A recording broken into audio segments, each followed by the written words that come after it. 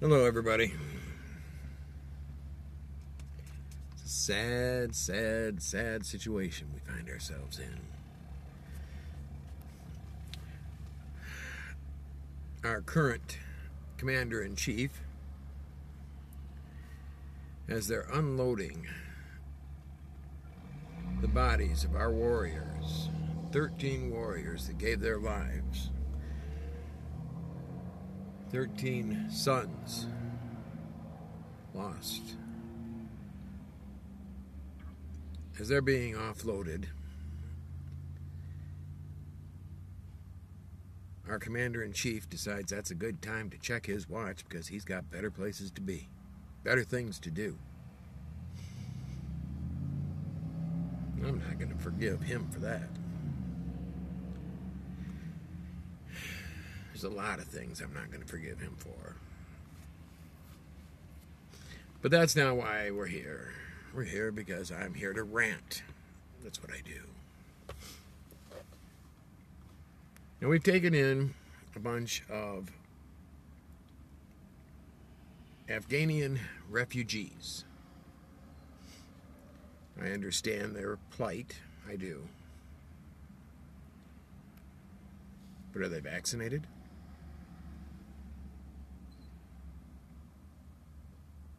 Hmm. We got to have a vaccine. Some of us have to have a vaccine to go to work. Not me, but some. But these refugees can come in to America unvaccinated. Now they're distributing them throughout our country. Some of them are going to Kalamazoo, Michigan, Now, my problem with this is not that we're helping people in need.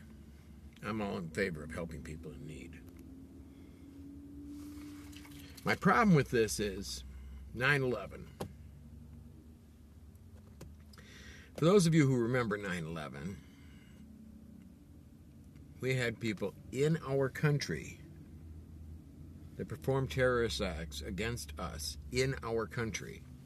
Why? Because they were here on education visas or, you know, work visas or what have you. Now all of a sudden, Taliban has taken over the country of Afghanistan. We're bringing the refugees from Afghanistan into our country putting them in places like Kalamazoo, Michigan. And just down the road from Kalamazoo, Michigan, is a military um, fort. Just down the road. Why didn't they get sent to Detroit? Kalam- Kalamazoo. Why didn't they get sent to Grand Rapids? No, no, they got sent to Kalamazoo with a military post just down the road.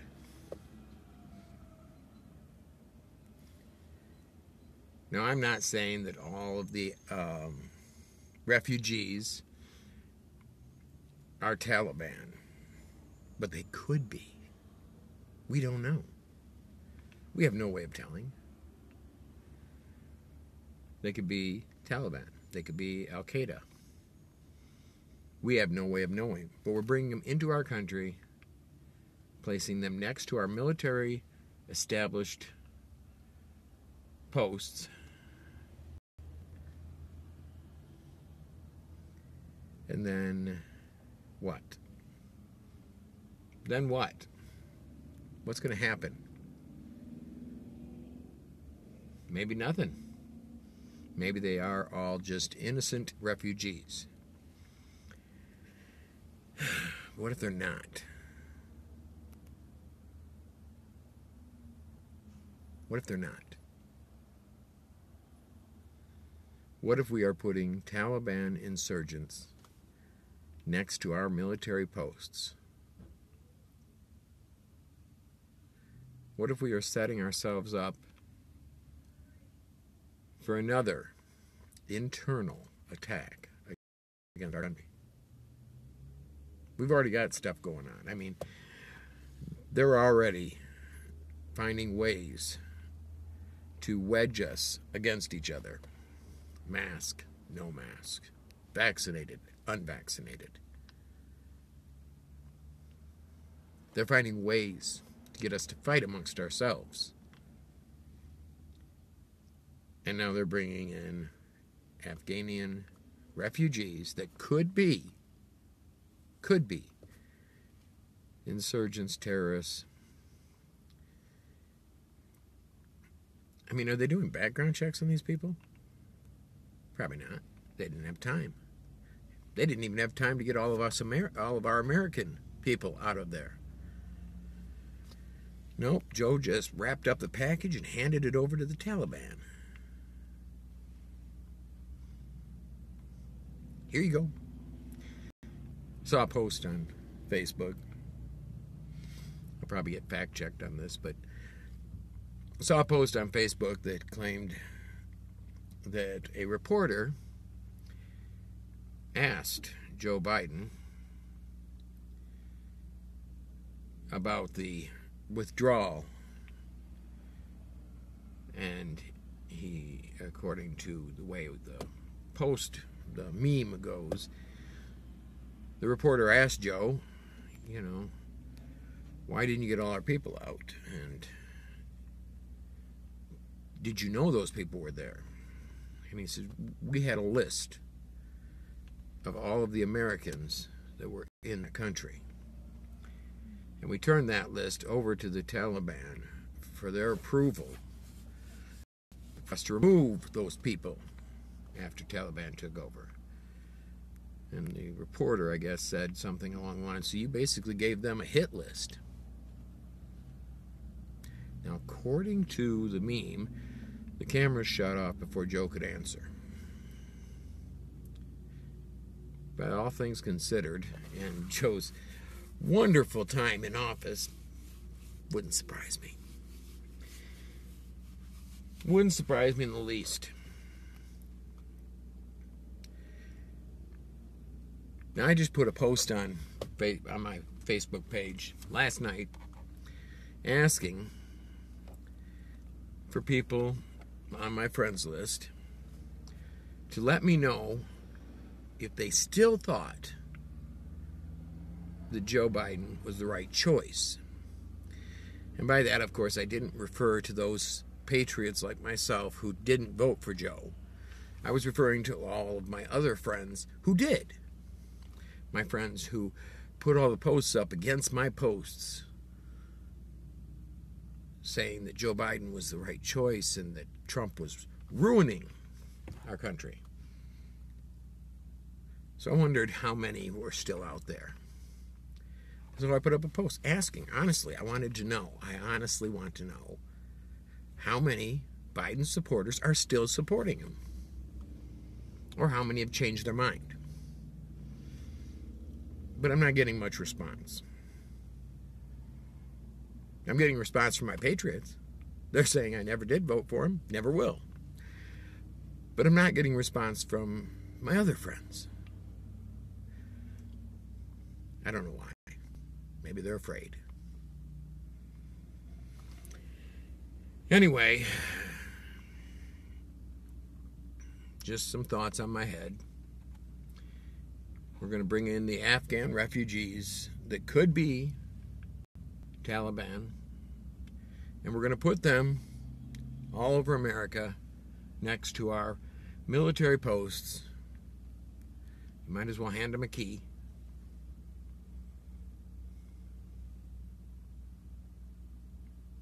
because they're already dividing us. They want you, if you wear a mask, to hate those people that don't. They want you, if you've gotten the vaccine, to coerce or hate those of us who have not gotten the vaccine.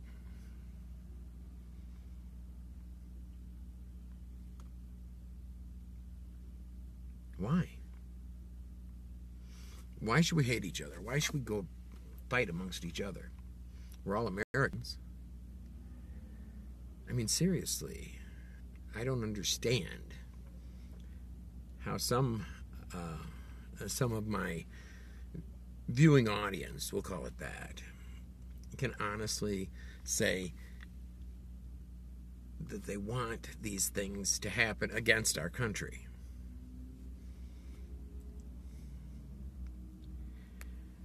I was in the army and did my time. My boys were in the army, did their time. Could have been one of my boys in those boxes that Joe so carelessly checked his watch. Could have been one of my boys. So that really irritates me.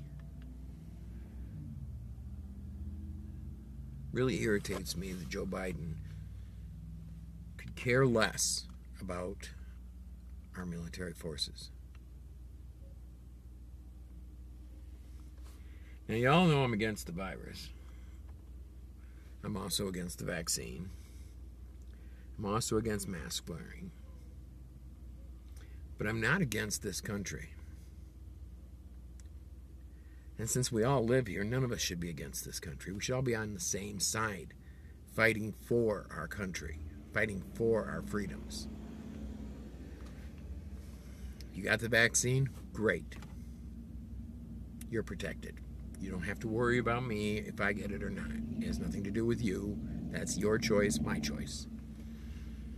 Don't want to wear don't want to own a gun? Don't own a gun.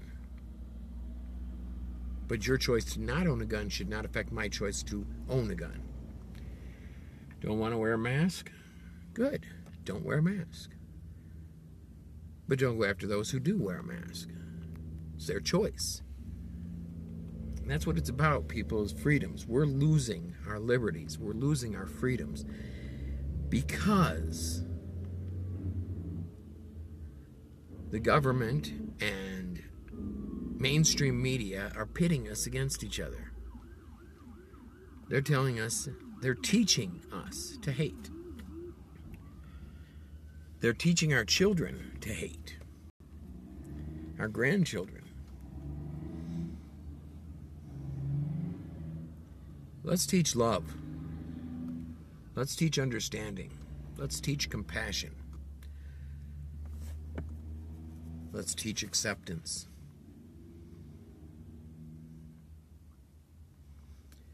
My comments about the Afghanian refugees are not a racial comment, just a question. Do we know for certain that they're not Taliban? Do we know are we putting any precautions in place to keep an eye on potential Taliban members within those groups of refugees? And if we're not, why aren't we? We should be.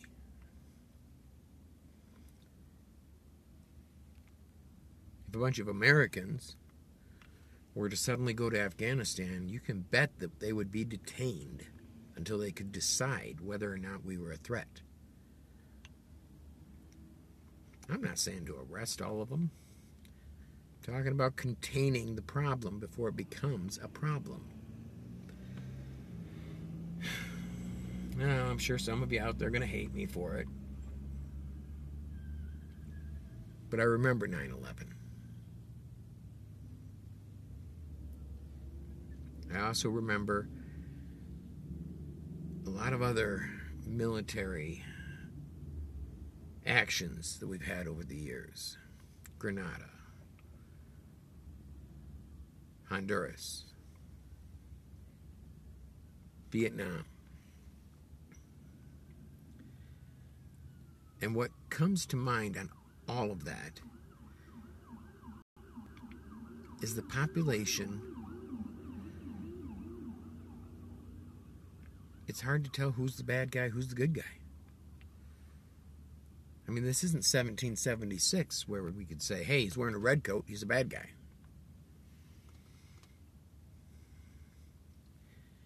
No, in the modern day, the bad guy can just be right there beside you. And you wouldn't even know it. So, my belief, my opinion, we should contain the Afghan refugees until we know they're not a threat. Not start putting them out in places like Kalamazoo, Michigan. not start inviting them to live across the country. I mean, who's who's footing the bill for this? Uh, I'm curious on that too. Who's paying for their food, their their um, shelter? Who's paying for their clothing? They didn't come here as refugees with millions of dollars in their pocket. So who's footing the bill? That's another question I have. Because if it's my tax paying money going to support terrorists, I'd like to know before they have our guns, our choppers, our tanks. I'd like to know beforehand, Joe.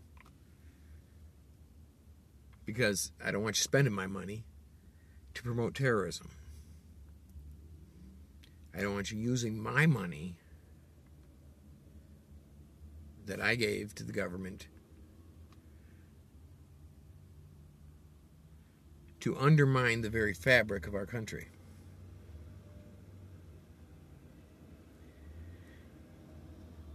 Now, the wife and I were talking, and I said, you know, the Taliban can show can teach us something.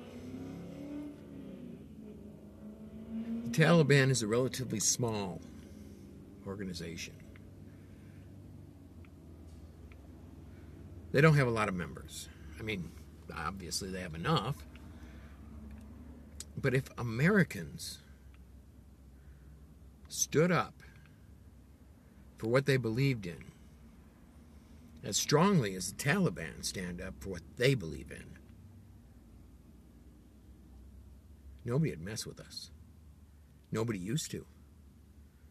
After 9 11, everybody was crying against the, against the Al Qaeda. We were united. We were united against Al Qaeda after 9 11. Why aren't we united now against Taliban? Why are some of the some of Americans out there saying, "Oh, it's okay that they got Afghanistan"? It's not okay. But they took a small number of like-minded people, the Taliban, and they acted. They acted. They did something. If we as Americans worked together, stood together, and acted, we could save our country. Nobody deserves to be impeached. Plain and simple. They tried to impeach President Trump for doing a good job, but they're not going to impeach Joe for screwing stuff up? Wrong answer.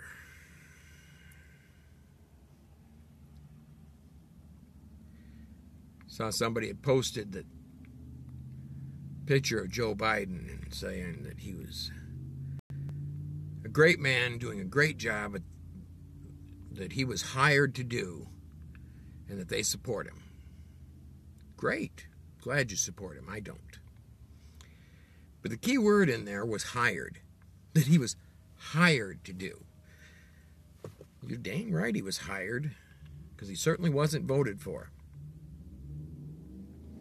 He wasn't voted into office, he was hired into office. Unfortunately, he was hired by China and Taliban and Russia. I mean, why is it within the first couple of months he decides to destroy jobs, open our borders, reduce our independency from foreign um, interests, Oh, yeah, he did all that within the first couple of months. I mean, he stopped the pipeline. Now we got to get our fuel from overseas. Why? It's a really good question. How much are you paying for gas, people? How much are you paying for gas? Before Joe Biden took office and shut down the pipeline, you were paying a lot less. Before he stopped construction on the wall and put all those people out of put all of those people out of work, how much were you paying for a gallon of milk? How much were you paying for your bread? How much are you paying for your food? Your clothes? A lot less.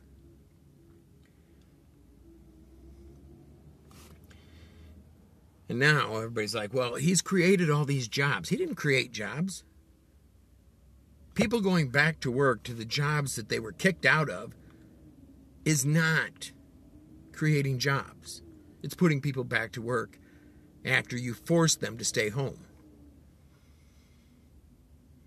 He didn't create jobs, he destroyed jobs. He destroyed our independence from foreign interests. Joe Biden deserves to be impeached. But it isn't just him, so don't think if they impeach Biden, it's going to be the end of it. No, there's a lot more influences there. Do your research, take a look. You'll find some very amusing things coming out. I'm not asking you to believe me. I'm not asking you to believe in me. I'm asking you to think for yourself. Everybody should think for themselves. I do. I hear something. I find out the truth. I go to the source. And if I can't get to the source, I find as many differing opinions and facts as I can find on that subject. Because I'm a firm believer you have to find out the truth.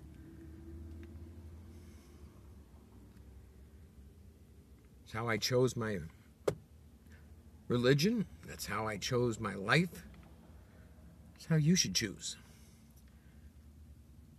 Don't follow along blindly, believing mainstream media Find other outsources of information and weigh the information yourself. Find other outlets of facts and weigh all the facts, not just the ones the government wants you to have. Think for yourself, question everything. Believe in yourself. Believe in your own ability to think. The United States was built on the premise of freedoms, liberties granted to us by God above. Those very same liberties are being taken from us daily because people don't think, because they don't challenge. Well, I'm making a challenge for all of you. Stand up and fight for what you believe in. If you believe you should have the right to go to church, then go to church. Don't let anybody tell you you can't. Want to buy a gun? Buy a gun. Don't tell them, don't let anybody tell you you can't. Question everything. Definitely question authority. Learn everything. Learn facts. Everybody's talking about follow the science. If anybody followed the science, well, you'd find out some things. So, I've probably taken up enough time and melted some of your ears with my comments. But before I go, I want to point out a few things. Facts. Fact number one COVID isn't new, people. COVID did not just spring into being in 2020. COVID 19 is the 19th strain of the COVID virus that they have discovered. But COVID's been around for years upon years in other strains. COVID, fact number two, COVID is a variant of the flu virus.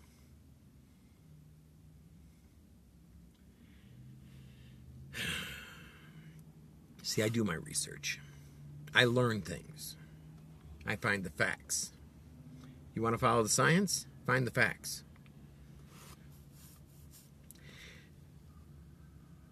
Here's a fact for you.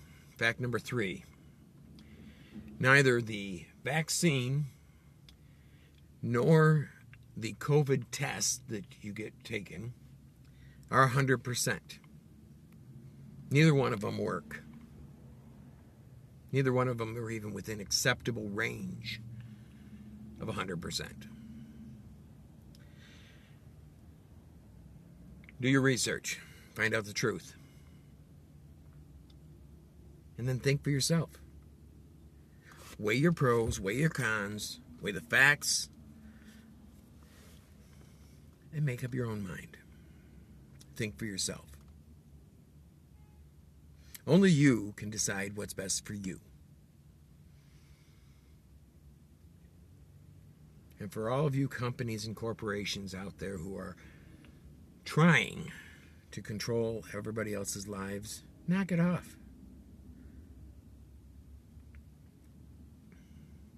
Knock it off. We'll buy from you if we want to buy from you. We won't if we don't want to. You telling us we have to wear a mask or have to get vaccinated or whatever. That's not your job. Your job is to sell us stuff. Your job is to create desire for us to buy your products. That's your job. Stay there. Shout out to Bill Gates. Your job is not science. Well, technically, it is computer science, not medical science. So get off your soapbox and get back to work doing what you're supposed to be doing computer science. That goes for all of them. Zuckerberg, all of them. You don't decide what we do. We do. We decide for ourselves. Sell us your products. Create a desire, create a need, and sell us what you have. But don't tell us what to do. That being said, love to all. I got to get out of here.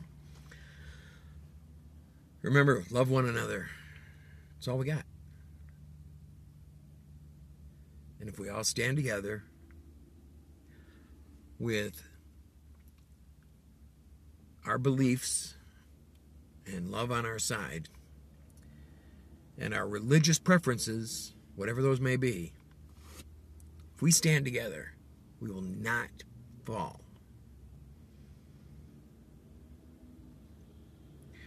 We will not fall. A forest is stronger than a tree. Remember that. Love you all. Take care. Talk to you soon.